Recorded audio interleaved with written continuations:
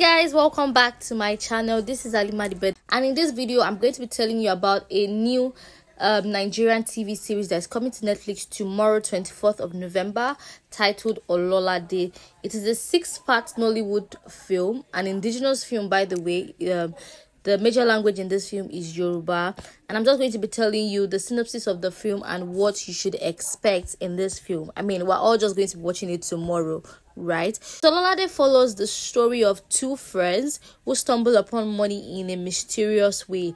We um in the trailer we're introduced to Frank Donga's character. He's sad, he's depressed, he's talking about how he doesn't have any money and things are not going well for him.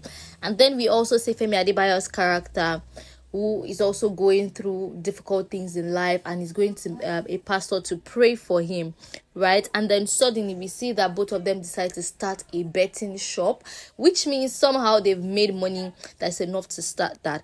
And then you know things start going really well for them. They are their business is booming, you know, they are spending money anyhow, and then suddenly, um, Frank Donga's character, his mom, tells him that he needs to get another wife. And mind you, this man already has a wife, so he's telling him, You need, she's telling him, you need to get another wife.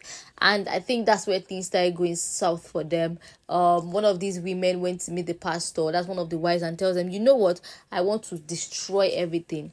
So, what I'm deducing from this is that she's probably the one that did the money ritual for them or she's the one that knows the person that did the money ritual. She you know she has a hand in it right? She knows about it. And now that you guys have become rich you now want to neglect her and marry somebody new or you've married somebody new and you know you want to sideline her in something that she had a major hand in. You know things start going really bad for them and then it just takes a very dangerous turn for them. So basically this like they're answering to their crimes.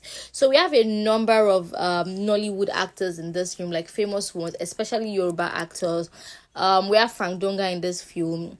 Um, we have Femi Adebayo. We have Kunle Idowu. We have Mide Martins, Mercy Aigbe, Mr. Macaroni, Jaiye Kuti, and many others. I think I have very big expectations for this film because the head writer is someone that I have seen uh, many of his works before and they are really good. Lani Aisida. If you guys watch on Ndani TV some of their um you know shows, you probably have seen some of you know his um shows before. You've seen his name on their shows before. So yeah, I do have expectations for this film and considering the fact that it is um an indigenous film, I also feel like yeah I mean, it should be good, right? I don't know what to expect. I don't want to say, oh, I'm expecting these these performances. But seeing Femi Adebayo, seeing Mide Martins, if you guys know Mide Martins, you know that she's a crazy woman. She brings in all the energy. So yeah, I'm expecting you know superb performances from Mide Martins, from Jaiye Kuti,